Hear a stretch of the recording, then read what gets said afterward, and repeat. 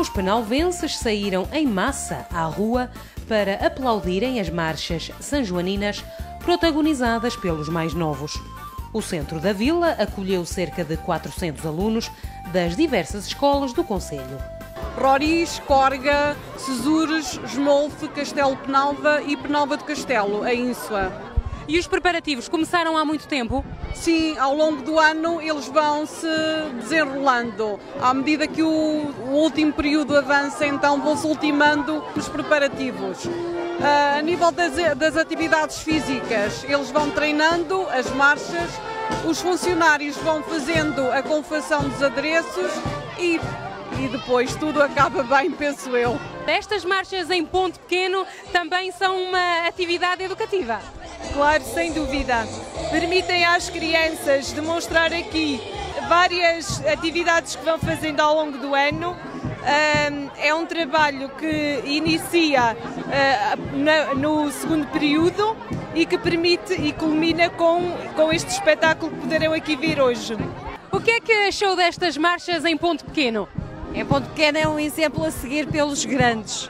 Uh, mas acho que é uma iniciativa de louvar da escola e é um esforço enorme que é feito por todos os professores, por todos os funcionários e também por eles, porque eu sei o que é que é andarem nervosos e este é o último ano da Matilde na quarta classe, então sei o que é passar este sofrimento durante os tempinhos.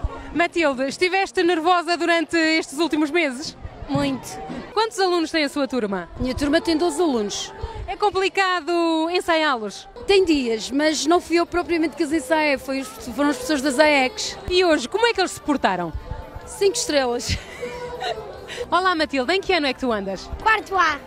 E as marchas foram muito difíceis de ensaiar? Não.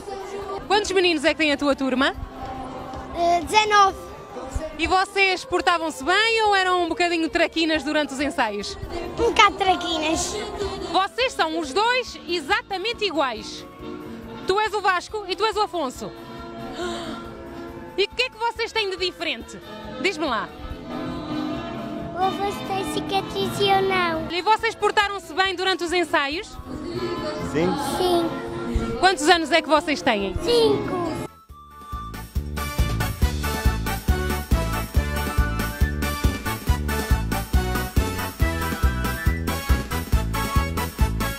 Todos os anos se faz aqui estas, estas marchas e hum, acho que é um desenvolvimento e vêm muitas pessoas de fora aqui para o Conselho de Penalva.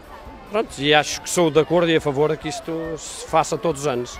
Também tem uma filha aí a marchar hoje? Sim, sim, todo, desde que veio a Penalva do Castelo, no primeiro ciclo, está sempre, pronto, ela contribui sempre e eu trago-a cá, faço de tudo para que ela esteja sempre presente.